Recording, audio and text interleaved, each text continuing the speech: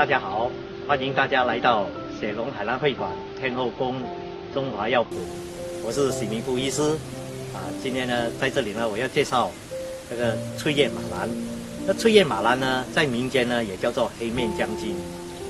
同时呢，它的别名呢也叫做化色草，哦，化色头的化，哦，化色草。我们的药用呢，一般呢都是用全草啦，就是说包括它的叶、枝。包括根哦，全草都可以用。那么它主要呢用在呢啊是清热解毒。那么这个清热解毒呢，就是说凡是这病引起的那种热毒哦，不是那种食物中毒的那种解毒，是啊身体呢像发热啦啊产生那种毒素，就是说比如讲那毒疮啊或者毒疹啊这一类啊啊，所以我们都可以用。那么同时呢，它可以活血消肿。那么活血消肿呢，一般就是指的，就是说，啊，比如讲跌伤啊，哦，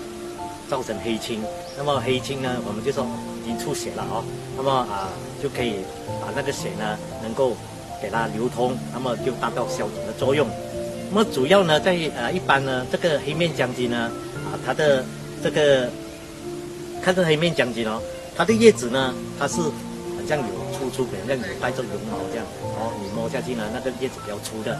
啊，同时呢，它要辨认它呢，啊，是不是黑面将军呢？因为字都有相同啦。那么一般呢，我们就采的来看，因为黑面将军呢，它是有总结的，哦，这一件一件会有总结。那么这个总结呢，在中医啊，我们说在这个中中药来讲呢，啊，就说它有凡是有总结，都能够用在这种配打，哦，或者这种活血消肿的作用了。那么这个黑面将军。啊，目前呢，我们发现到有两个品种，一个呢就是直立的，哦，这种直立的，那么另外一种呢是蔓藤的，就攀藤的。那么呃，攀藤呢，目前呢这名称还不大清楚了，所以呢，目前呢只有这个直立的，哦，直立的这种草本呢，啊，我们有它的正确的名字，所以一般用呢，我们是鼓励用。